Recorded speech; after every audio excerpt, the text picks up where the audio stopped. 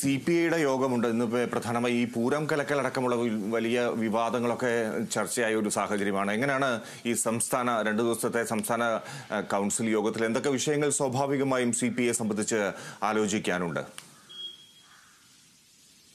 Vijay C P I സംസ്ഥാന council യോഗം നടക്കുമ്പോൾ പ്രധാനമായും ഇതിൽ ചർച്ച ചെയ്യുന്നത് സി പി ഐയുടെ വിജയം തന്നെയാണ്. അതായത് A D G P M R അജിക്കുമാറിനെതിരെ എടുത്ത ഒരു തീർച്ചയായിട്ടുള്ള ഒരു സി പി ഐയുടെ നിലപാട് വളരെ ശക്തമായിരുന്നു. ആ നിലപാട് അംഗീകരിക്കുന്ന സാഹചര്യത്തിലേക്ക് എത്തിയിരിക്കുകയാണ്. ഇതിനെ സർക്കാർ ഇത് ഈ ഒരു തീരുമാനത്തിലെത്തിയത് സി പി ഐയുടെ സമ്മർദ്ദം കൊണ്ട് തന്നെയാണെന്നാണ് സി പി ഐയുടെ വിലയിരുത്തൽ. അത്തരത്തിലുള്ള ഒരു സന്തോഷം പങ്കുവയ്ക്കുന്ന ഒരു ദിവസമായിരിക്കും സി പി ഐയുടെ ഇന്നത്തെ യോഗം. ഏതായാലും പ്രധാനമായി അക്കാര്യങ്ങൾ പറയുന്നുണ്ട്. അതോടൊപ്പം സി പി ഐ വിവിധ വിഷയങ്ങളിൽ എടുക്കാനുള്ള നിലപാടുകൾ.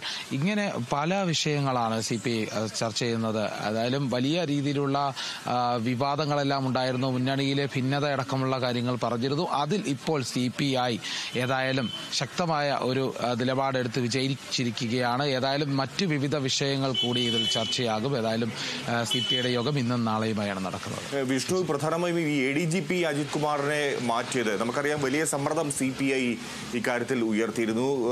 എ ഡി ജി പിയെ മാറ്റിയത് വലിയ വിജയമായി സി പി ഐ കാണുന്നു. അതുകൊണ്ട് തന്നെ തങ്ങൾ എൽ ഡി എഫിൽ ഒരു ശക്തിയായി നിലകൊള്ളുന്നു എന്നൊരു തോന്നൽ ഇപ്പോൾ സി പി ഐ നേതാക്കൾക്കുണ്ടോ?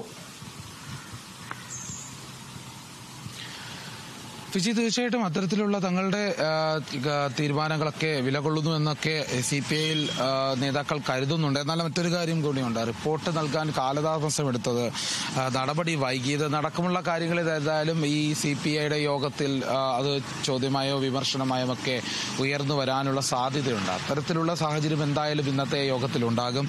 അതോടൊപ്പം തന്നെ പാലക്കാട് ജില്ലയിലെ പാർട്ടിയിലെ വിഭാഗീയത പ്രവർത്തനമായി വിഭാഗീയ പ്രവർത്തനവുമായി ബന്ധപ്പെട്ട മുതിർന്ന നേതാവ് കെ ഇ ഇസ്മയിൽ നൽകിയ വിശദീകരണവും യോഗത്തിൽ ചർച്ചയാകും. അത്തരത്തിലുള്ള വിഷയങ്ങളെല്ലാം യോഗത്തിൽ ചർച്ചയാകും. ഏതായാലും പ്രധാനമായും എ ഡി ജി പി വിഷയം തന്നെയായിരിക്കും. ഏതായാലും അതിൽ വിജയം കണ്ടു. പക്ഷേ വിമർശനങ്ങൾ ഉണ്ടാകും ചോദ്യങ്ങൾ ഉയരാനുള്ള സാധ്യത തന്നെ ഉണ്ടാകും. തീർച്ചയായിട്ടും. ശരി വിഷ്ണു.